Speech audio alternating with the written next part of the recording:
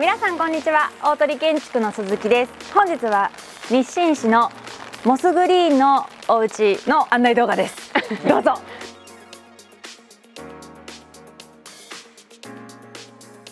では早速ご説明させていただきます、えー、敷地は34坪。34坪で延べ床が33坪の2階リビングのお家になります。あ、2階にリビングがある。そうです。ね大鳥建築多いかもしれないです。そうなんですね。はい。で、えーと、敷地の間口が約11メーターですね。はい。で駐車場が2台分。はいございます。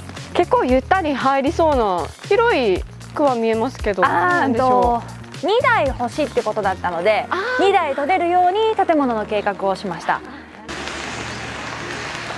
ですね。であのまああの植栽とか外交はいらないってことだったので、じゃあもうなるべく建物を大きくしようっていうので今回この形になりました。なるほど、はい、結構パッと見た時にあの奥の木すごい素敵だなって思ったんですけども。ありがとうございます、はい、これは実は木じゃなくってサイディングなんです、あそうなんですね、はい、なんか初めにあの外壁の色をあのご主人はなんかホワイト系か、はい、あとはネイビーか、うん。どちらかがいいなって言ってたんですけど、なんか途中あれモスグリーンもありじゃないみたいな感じから始まって 先にモスグリーンを決めて、はい、じゃあそこからアクセントに合うこのウッド調のサイディングは何かっていうのを選んで、はい、まあちょっとこのグレーかかったお色味を採用していただきました。そうなんですね、はい、結構あれですよね。こう今までにない組み合わせだから。あ、うん、確かにちょっと珍しいですよね。目を引く感じ。うん。はい。で一応ねここにねあの大鳥建築では必ず将来充電よ。自動車が充電できるように必ず200ボルトのコンセントをつけるようにしています。確かに後で設置ってなったら大変ですもんね。結構大変なんで。はい、もう初めにその将来のことも考えて、うん、そこ周りの計画をしていきます。はい。感じでじゃあ早速中行きましょうか。はいお願いします。はい。可愛いですね。可愛いですね。あそう今日はあのねもうお引き渡しして何ヶ月だろう。3月にお引き渡しをしたので、えっとお引き渡しして今何月ですか、うん、6月 ,6 月、はい、3ヶ月、はい、のあのお世様のうちにお邪魔してます。じゃあよいしょ。であごめんなさい。ごめん。はい。でここにあの傘掛けがはいあります。はい。のでちょっとじゃモスグリーンに合わせてグリーンの傘あそうだったんですね。ちょっとかけさせてもらいます。そこの奥ももう壁にはせずに日が当たるようにっていう感じですかね。そう初め、うん、あのプレゼンをした時はここ壁になってました。はい、あそうなんですね。うん、でも、うん、あまりこう壁にしちゃうと、この外から見えないので、逆にちょっと防犯面をあ、うん、確かに。気にされてもう開けますってことで途中で開けましたねここに関してそうなんですね。初めは壁ででも結果明るいので、すごいいいなと思います、ね、確かにそうですね、うん。結構高いからね隣からだと。あそうか、うん、そもそもそも見れないっていうここまで壁があればそうそうそうそうそうそうそう、うん、足元って結構気になるんで。確かにそうですね、うん、で、まあ、奥さんあじゃないやご主人が世界の方まで、はい、あのお仕事されてるので、まあ、近くの駅まで、まあ、この自転車で。で自転車もこう雨に濡れないように置きたいってことだったのでちょっとここを広く取らさせてもらいました。なるほど、はい、感じになってます。はい、はい、では早速中の方へ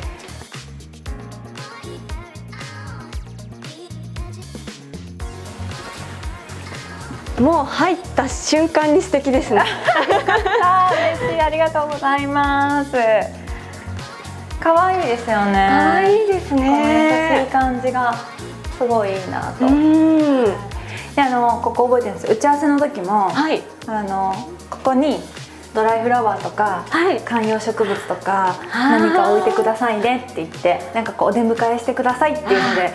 確かに華やぎますもんね であの今ここにはい、窓があるんですけど、うん、まあ、先ほども冒頭でお伝えしたんですけど、うん、このお家は2階リビングになるので、はい、やっぱりあの、ね、前もお話ししたと思うんですけど、うん、どうしてもやっぱり1階の玄関周りが2階リビングだと暗くなってしまうので、あの私はここに絶対窓をつけたいはい、でも奥様絶対いらない。っ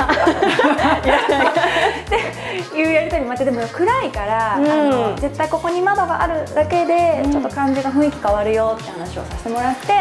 じゃあ鈴木さんがそこまで言うなら窓入れますって。鈴木さんが折れる感じな感じ はい、で窓つけて「どうでしたか?」って聞いたら「やっぱあってよかったです」とおっしゃっていただけたので。嬉しいですね、はい、よかったです。はい、そう。であとは、まあ、ここが壁面収納になるんですけども、はい。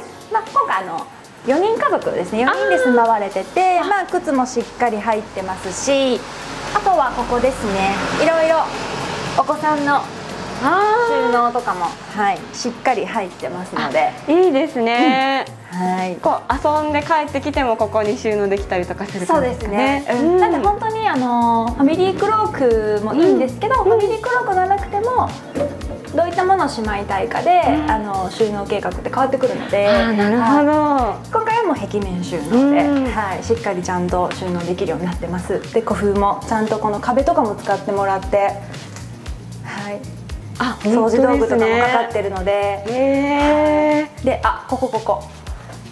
外の照明のスイッチとかも全部この玄関の中に入ってますなので普段この入り切りしない照明、あなるほど。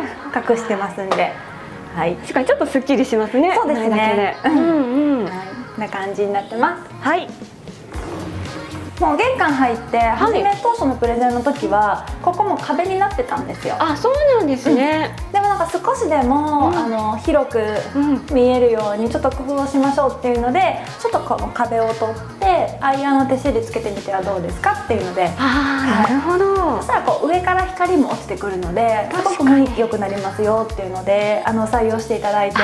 そうなんですね、はい。すごいいい感じです。確かに上からの光がすごい柔らかく注いでていいですね、いいと思いますよかったです。計画通りですはい。ありがとうございます。じゃあ早速中の方失礼します。お邪魔します。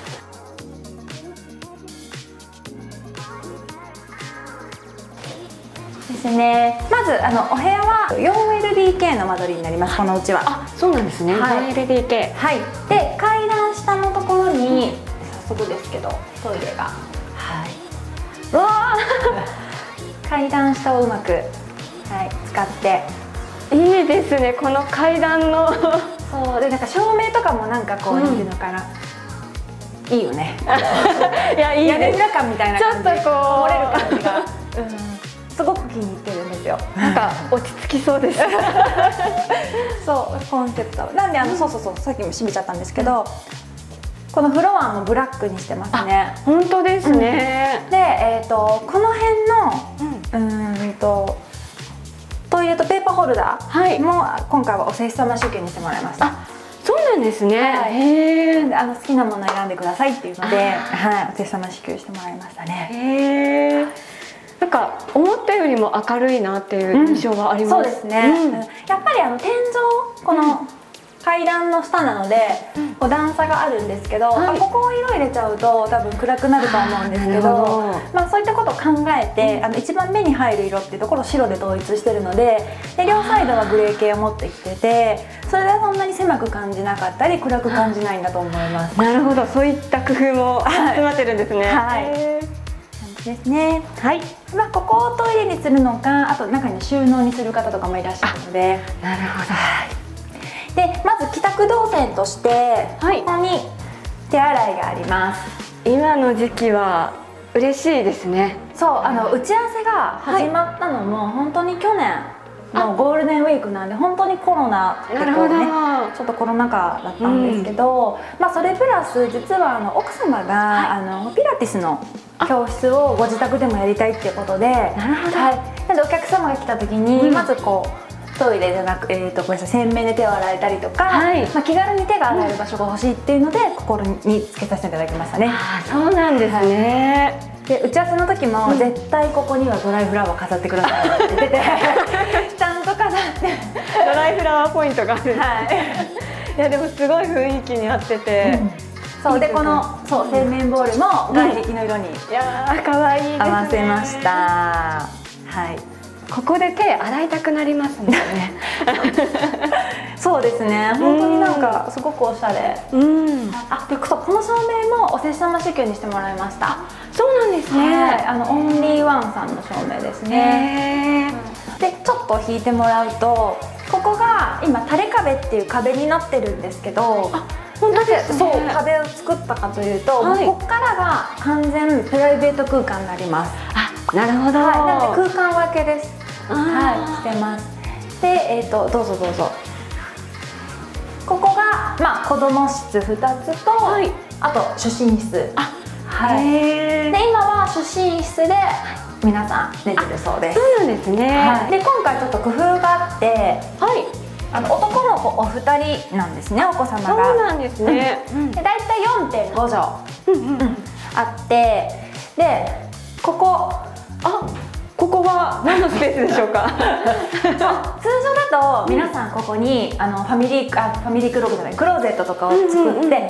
こう扉ですよね。そうですよね、はい。そう、ん。するんですけどまああの例えば子供が使うのって、うん。もう本当一瞬だから、確かに、はい、ここに何かこう作り付けのものを作っちゃうと、うん。自由にカスタマイズができないからとりあえず扉オープンにしてくださいと、はい。あなんかこういうちょっと収納スペース作ってくれればここに勉強机入れてもいいしあそうですね、あの置き家具買ってきて、うん。そこに収納する場所作ってもいいしっていうので、うん。自由にカスタマイズができるように扉を取ってくださいっていうことでこの形になりました。へえあえて扉をつけないっていう選択肢もそうですあるんですねはい、なので実はこのお家の居室にはそれぞれ収納があるんですね。あはい、うん、あの主寝室にももちろん収納あるんですけども、そこの収納も扉がない状態です。そうなんですね、はいオープンになってます。はい。ちょっと自由にカスタマイズしますっていうことで。住んでからの楽しみもある、はい。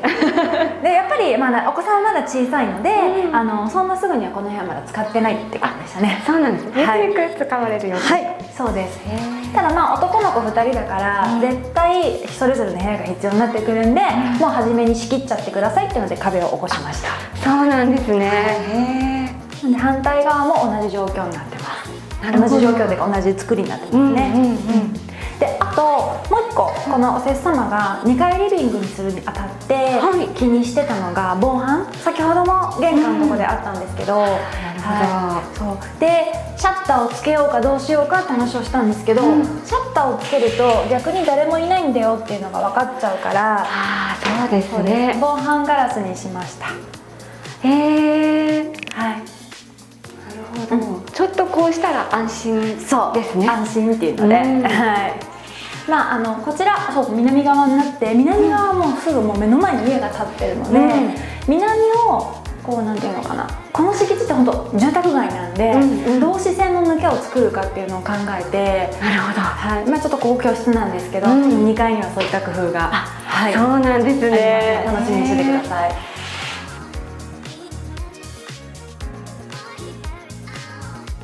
ではこちらですね。はい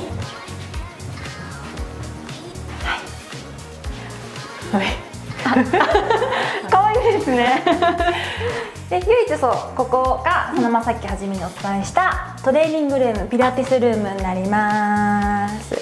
すごいたくさん。はい、であの奥様もこう堺の方でお仕事はされてるんですけども、はい。ご自宅でもこうピラティスルームを作りたいということで今回こういったお部屋を作りました。すごいですね。いいですよね。いいですね。